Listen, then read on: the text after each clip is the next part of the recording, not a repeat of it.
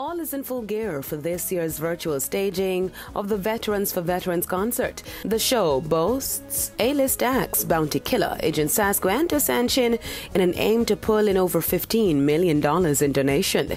Chairman of the National Poppy Appeal and executive producer of the event, Lieutenant Colonel Warrington Dixon, gave us the full details about the worthy cause. Poppy has been used to, to get donation towards the care of our veterans. But the really most significant thing um, for the poppy is for us to remember, remember the circumstances that led us um, into, into, into this bloodshed. But the flagship ac- activity for this year is the Veterans for Veterans concert.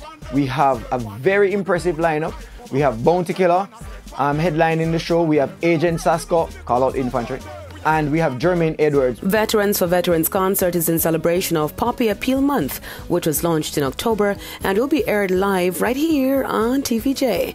The National Poppy Appeal is the main fundraising arm of the Jamaica Legion, which raises funds to take care of over 100 needy military veterans and widows. Fans send Eternals to the top with a US 71 million debut tag. When you love something,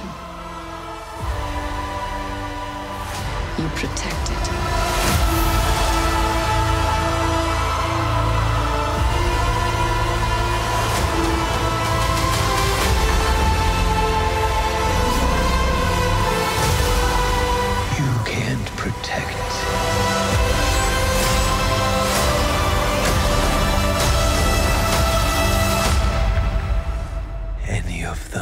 Eternals topped the US weekend box office chart, but surprisingly, its $71 million debut fell short of projections, which had the superhero film debuting about 75 million.